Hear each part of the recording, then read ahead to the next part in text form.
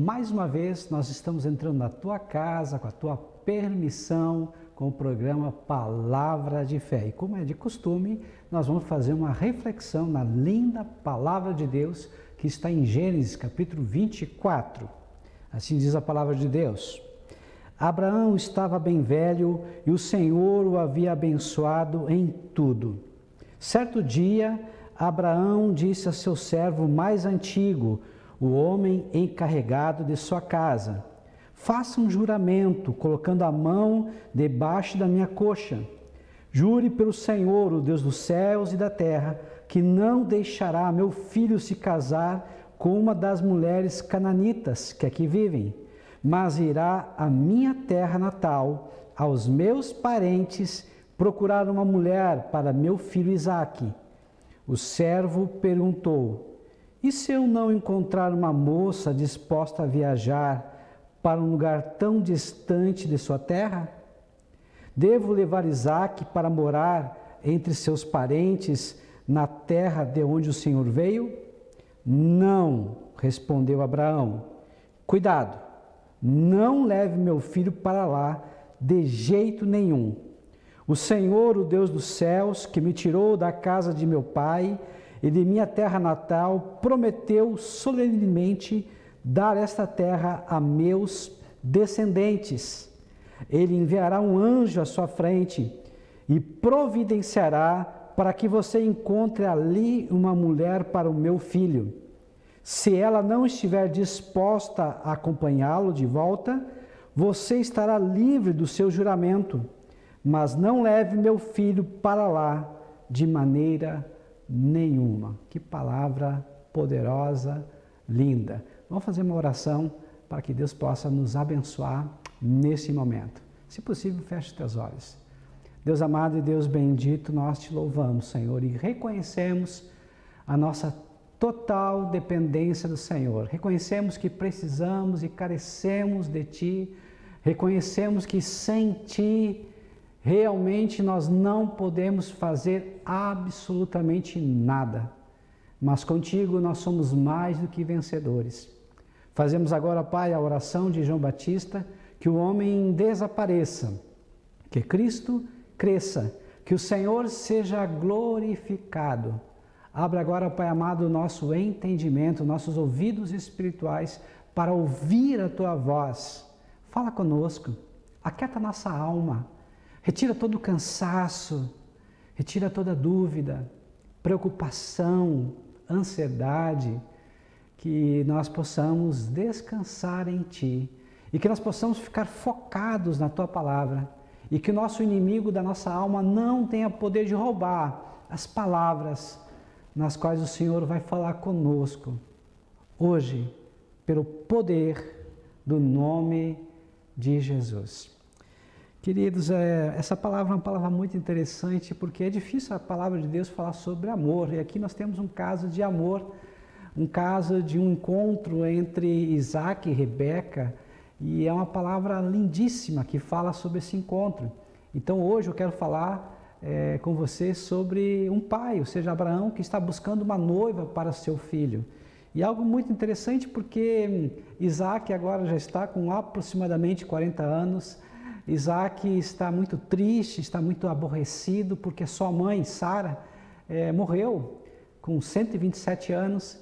Então ele está num momento de luto, num momento de perda. Talvez você que esteja me assistindo agora, você também está num momento de perda. Talvez não tenha nem sido alguém que morreu, ou pode até ser alguém que morreu. Quem sabe você perdeu o emprego, quem sabe você foi abandonado por alguém que amava, que você amava e isso te traz um aborrecimento, uma frustração muito grande. Eu não conheço a tua vida, mas quem sabe você está vivendo num momento muito triste, complicado. A palavra de Deus diz que a tristeza pode durar a noite inteira, mas a alegria vem pelo amanhecer. E a palavra de Deus ela vem trazer luz, ela vem trazer é, um alento para você. A palavra de Deus ela vem trazer esse alívio que você precisa. Talvez você esteja agora precisando e pedindo, Senhor, se tu existe, fala comigo. E eu quero ser a boca de Deus, para que Deus possa me usar e você ser abençoado nesse momento, pelo poder do nome de Jesus. Aqui, Abraão, o pai de Isaac, representa Deus, é, tipifica Deus. O filho, ou seja, Isaac, cujo nome significa sorriso, significa e representa Jesus Cristo, o Filho do Deus vivo, do Pai celestial.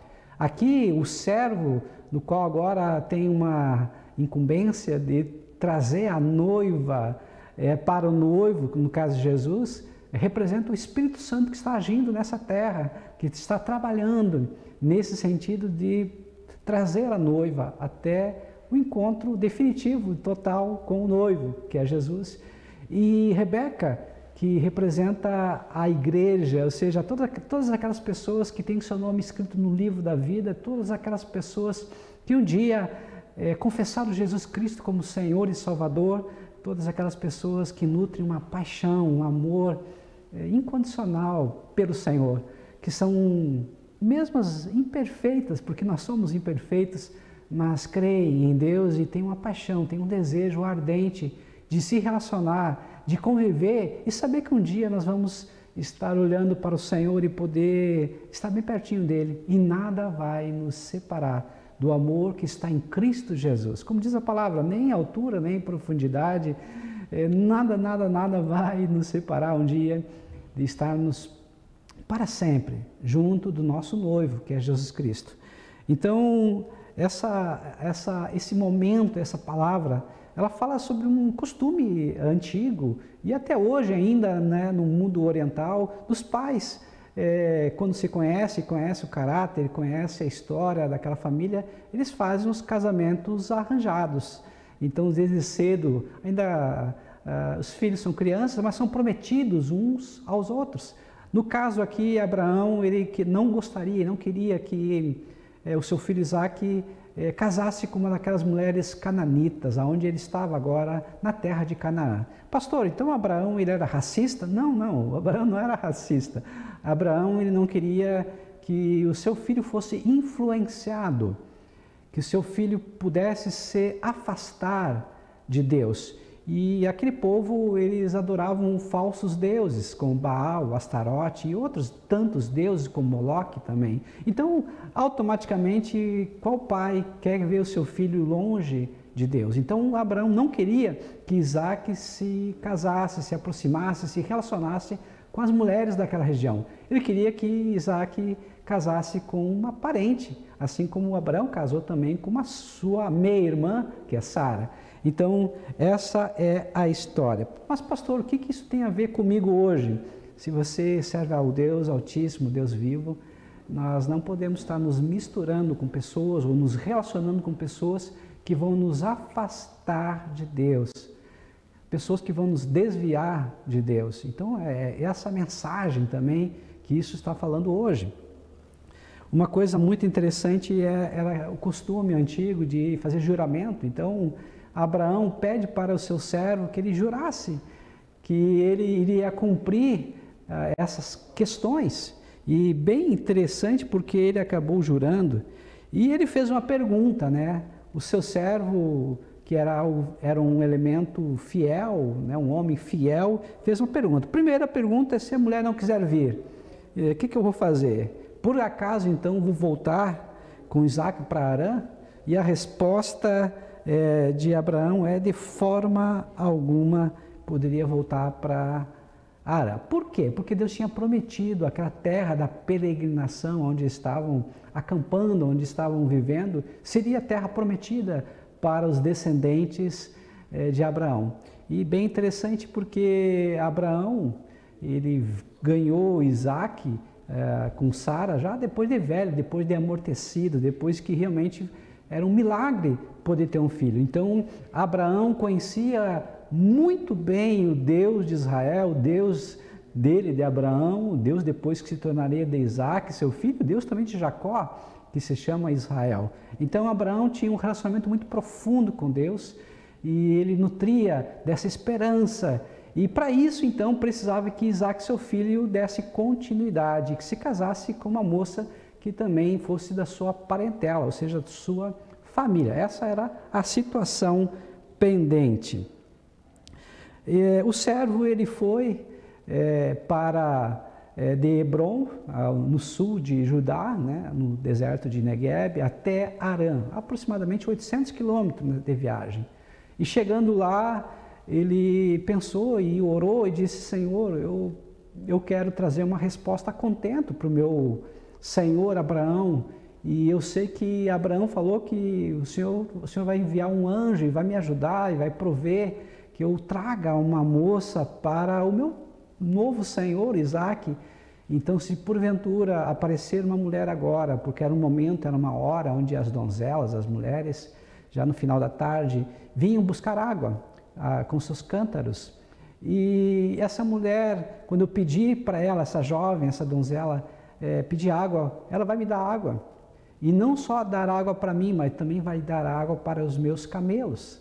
Então, na verdade, ele estava fazendo uma oração, um pedido realmente difícil, uma tarefa árdua, algo que realmente tinha que ser de Deus.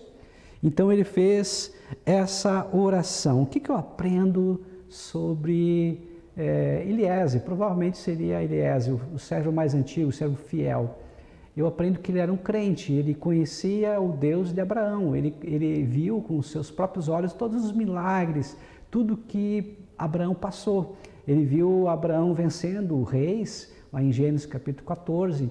Ele ouviu de Abraão a história que estava disposto a sacrificar seu próprio filho é, Isaac, em Gênesis capítulo 22. Então nós vemos assim um homem que estava trabalhando e servia ao seu Senhor com alegria, com fidelidade, estava disposto realmente a fazer o melhor e agradar aos olhos do seu patrão, do seu Senhor. Então Eliezer era um crente. O que eu aprendo aqui também? Que nós precisamos ser crente em Deus, crer, confiar de todo o coração que Deus tem o um controle de todas as coisas. Outra coisa que eu aprendo é que o seu servo aqui, no caso, ele orou, ele pediu uma orientação para Deus, porque era algo realmente muito importante. Quando você está com um problema, o que, que você faz?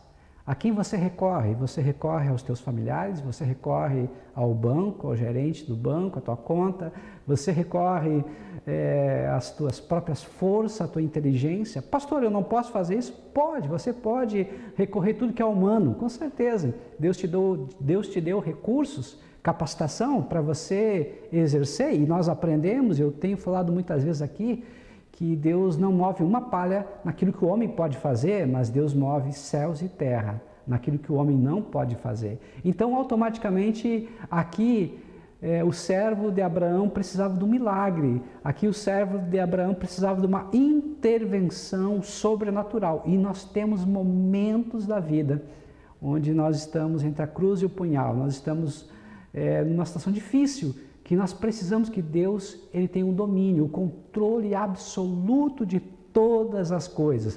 E nesse momento é que o servo estava agora pedindo uma intervenção de Deus, porque só Deus poderia fazer. Dar água apenas para ele, qualquer uma moça poderia dar. Então, em primeiro lugar, tinha que dar água para ele e para seus servos, que isso não era tão difícil, mas também tinha que dar água para todos os camelos, eram dez camelos. E ainda por cima tinha que ser da parentela, ou seja, da família de Abraão. Então, realmente, ele fez um pedido que somente Deus poderia agir, poderia intervir.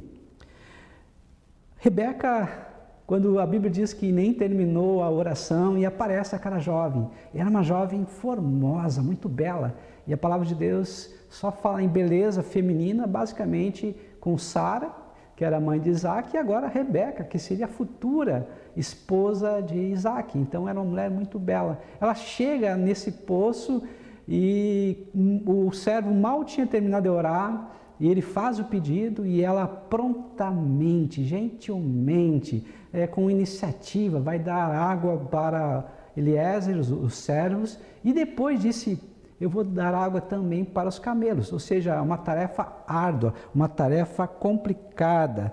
E o que, que nós vimos aqui como qualidades de Rebeca? Primeiro, a formosura, depois a iniciativa, depois nós vemos também que ela tinha saúde, era saudável, nós vemos que ela era humilde e vamos ver posteriormente a questão da humildade, da submissão dela também. Então nós vemos assim uma mulher realmente agradável, uma mulher é, fenomenal. Essa mulher ela representa hoje a igreja, ou seja, todas aquelas pessoas que creem em Jesus, que confessam Jesus como Senhor e Salvador. Então Deus, ele deseja para mim, para você, que se diz cristão, que crê em Cristo Jesus, que nós sejamos e tenhamos essas características. Você é agradável? Você é servo, ou seja, prefere servir do que ser servido? Você é submisso a Deus e às autoridades? Você é humilde, ou seja, você não é arrogante, você não é prepotente nem orgulhoso, você é ensinável, porque humildade é ser ensinável. Você, se você tem essas características, você tem a característica de Rebeca, que representa e tipifica a igreja. Uma coisa muito interessante, eu quero fazer aqui um parênteses, né? os camelos, é, eles faziam viagens longas e dava aproximadamente 21 dias de viagem entre Arã e Hebron. E nesses 21 dias de sol escaldante, eles bebiam muita água. É, de, de, uma vez só, um camelo poderia beber 100 litros d'água, tranquilamente. E durante o dia, podia beber até 200 litros de água, ou seja, é muita água. Um cântaro, que geralmente essas mulheres carregavam, tinha aproximadamente 12 litros e meio. Ou seja, para dar água para os servos e depois também para os camelos, ela investiu uma hora e 40 minutos aproximadamente. Então foi um trabalho muito árduo. Também nós vimos a coragem de Rebeca. Por quê? Porque os camelos, eh, se porventura estão muito estressados e, e se sentem eh, violentados, se sentem em perigo, eles gospem e pode até morder e os seus dentes são muito afiados. Então realmente vemos também, além de todas as características que já descrevemos, uma mulher corajosa, uma mulher impetuosa. E o servo faz uma pergunta que talvez você não compreenda e, e pergunte, mas por que, que ele perguntou é, de qual família, qual é o pai? Naquela cultura, é, as mulheres solteiras eram caracterizadas e eram identificadas pelo nome dos pais, assim como as mulheres casadas eram identificadas pelos nomes dos maridos. Até hoje, é assim. E na cultura oriental, na cultura é, judaica, mais ainda. É, algo muito interessante que eu aprendo é sobre quando o servo fez essa pergunta: Você é filho de quem? Você é filha de quem? Né? É, o que, que isso significa para nós hoje, pastor? Algo muito interessante. Você é filho de Deus? Ou seja, você tem é, uma ligação com o Deus de Israel, Deus Todo-Poderoso? Você é, parecido com ele, porque a palavra de Deus diz que nós cristãos somos pequenos cristos. Cristão significa ser parecido com Cristo. Ou seja, você é da família de Deus, irmão de Jesus, você tem comportamentos, é, olhares, sentimentos, pensamentos parecidos com o Senhor. Mas, pastor, nós não somos pecadores, somos pecadores, realmente. E eu compreendo cada vez mais que quanto mais eu me aproximo de Deus, mais eu consigo ver os meus pecados e eu vejo como eu sou dependente do Senhor. Eu vejo que somente pela graça realmente é que eu sou salvo. E isso não vem do homem, é um dom de Deus. Então eu sinto a necessidade de buscar a Deus. Primeiramente, não porque Ele pode me dar, mas por aquilo que Ele é. Então eu procuro ser uma pessoa melhor a cada dia. Um dia eu já pensei ser uma pessoa boa. Por quê? Porque eu me comparava com os outros. Em relação a muitas pessoas eu era boa, mas depois, quanto mais a gente vai conhecendo a palavra, eu vi que a, o meu referencial e a pessoa com a qual eu tinha que me comparar não era com os outros, mas sim com Jesus. Ele é o autor e consumador da minha fé, ele é minha medida, né? o homem perfeito. E quando eu me comparo com ele, eu digo: Meu Senhor, tenha misericórdia de mim, porque eu sou um pecador, eu sou um caco entre muitos cacos, eu sou pó, eu sou um trapo de imundícia. Então eu aprendi que se comparar com os outros, isso aí é diabólico. Ou seja, eu jamais posso me comparar com outras pessoas, porque cada um é, tem as suas características, cada um tem as suas habilidades, cada um tem é, os recursos que Deus deu e eu tenho que me comparar comigo mesmo. Ou seja, eu só posso me comparar comigo mesmo. Hoje eu tenho que ser melhor do que ontem, amanhã eu tenho que ser melhor do que hoje. Eu só posso competir comigo mesmo. Então, comparar e competir com os outros não leva a nada, porque cada um tem suas qualidades, seus recursos. E eu tenho que entender isso. Agora, olha só, Deus respondeu para o servo. A moça deu água para os servos, deu água para os camelos. A moça era da família de Abraão, ou seja, Deus respondeu a oração do servo de Abraão. Então ele adorou, ele agradeceu. O que você faz quando você está em perigo? Quando você está numa situação difícil? Você reclama ou clama? Você murmura ou você adora?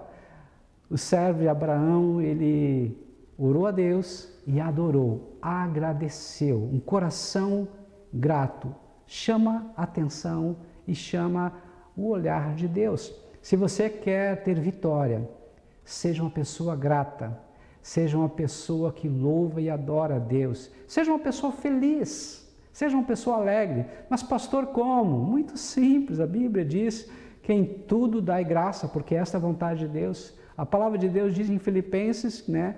Alegrai-vos, mais uma vez digo alegrai-vos.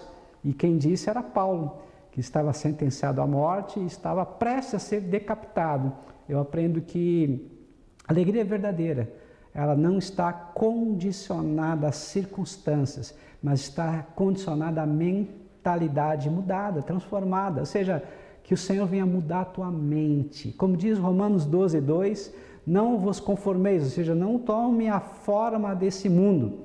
Ou seja, não pense como as pessoas pensam, não sintam como as pessoas sentem, não olhem e vejam como as pessoas olham e vejam mas transformáveis, ou seja, vá além dessa mudança, transformáveis pela renovação da vossa mente, para que possa experimentar a boa, agradável e perfeita vontade de Deus. O que, que eu aprendo? Que para eu ter comportamentos diferentes, primeiramente eu preciso ter uma mudança de mentalidade, de crenças.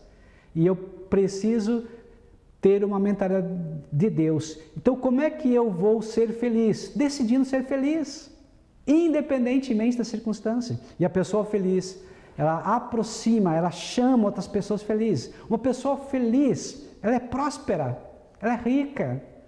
Ela pode até não ter tanto dinheiro quanto as pessoas gostariam, mas ela se sente bem, ela está satisfeita, ela está contente ela tem paz no coração. Então nós precisamos ser felizes. Seja feliz. Busca a Deus e você encontrará essa satisfação, você encontrará a prosperidade que vem do Senhor. Outra coisa muito interessante é que quando esse servo chegou na casa é, de Rebeca e do seu pai é, e também do seu irmão, eles foram bem acolhidos porque eles responderam com simpatia. Você é hospitaleiro, você recebe as pessoas com simpatia dentro da sua casa. E aí, o servo revelou o propósito para o qual ele chegou, porque ele contou toda a história, ele contou da oração que ele fez, do pedido, do sinal que ele fez. E o que aconteceu? Ele não falou nada de si próprio, ele só falou do caráter do seu Senhor. Ele só falou é, da grandeza, da glória, da riqueza, da prosperidade do seu Senhor. O que, que eu aprendo com isso? Que eu não posso e não devo falar de mim mesmo, mas eu falo do meu Deus. Eu falo como Ele é bom. Eu falo como Ele é grande. Eu falo das coisas grandiosas que Ele faz. Então nós precisamos testemunhar, falar. Porque muitas pessoas, infelizmente, talvez nunca vão ler a Bíblia Talvez até nem ir numa igreja, mas quando elas verem você, uma pessoa alegre, em paz, pacífica, que perdoa e ama muito, ou seja, tem a identidade de Deus, elas vão ficar curiosas para conhecer esse Deus. Então, sejamos como o servo de Abraão. Não falou nada de si, mas falou somente do seu Senhor, das qualidades, das características do seu Senhor. Agora, a família reunida e vê que Deus estava realmente é, nessa situação, no domínio dessa situação. Então a gente vê assim é algo muito interessante que é a soberania de Deus. Deus agindo, Deus operando, Deus trabalhando, Deus sob o controle de todas as coisas. A família agora é, estava vendo que realmente Deus estava no controle e, e agora pergunta para Rebeca, ou seja, para a igreja, para mim, para você: você vai é, com servo para casar com Isaac? Ou seja, aí entra a questão da responsabilidade humana, da decisão. O que, que eu entendo que muitas vezes Deus quer, Deus faz projetos, mas Deus também respeita a nossa liberdade, nosso livre arbítrio. Rebeca respondeu com eu irei, eu vou. Ou seja, ela estava disposta a abandonar sua família, estava disposta porque ficou curiosa e ficou interessada em conhecer o seu noivo, a sua nova família. O que, que eu aprendo com isso? Até onde você vai com Jesus? O que, que você está disposto a abandonar por Jesus? Rebeca não estava falando apenas no presente, mas ela estava com seus olhos no futuro. Quem sabe você está olhando o teu presente, o que você vai deixar, o que você vai abandonar, mas eu te digo uma coisa, vale a pena quando a gente deixa as coisas que não acrescentam, na verdade, muitas coisas em nossas vidas. São coisas que funcionam como muleta muitas vezes, mas nos prendem a coisas que só trazem dor. E o Senhor quer nos livrar, e o Senhor quer nos levar para outro patamar, para um momento que a gente possa ser feliz e ter intimidade com Ele. Foi assim que Rebeca fez. Ela pensou e olhou não para o presente, mas para o futuro. E assim também nós devemos tomar decisões não focado no presente, mas focado no futuro, no futuro que o Senhor quer nos dar. Então eu entendo que a salvação ela é um ela não é só um ato, mas a salvação é um processo.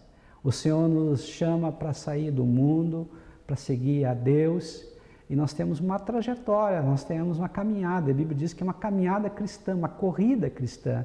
E essa corrida não é uma corrida rápida, é uma maratona, ou seja, leva tempo. É um percurso é longo, tem que ter disciplina, tem que ter perseverança. Mas a Bíblia diz que aquele que perseverar até o fim, esse será salvo. Rebeca estava disposta a abandonar tudo. Até onde você vai com a tua fé?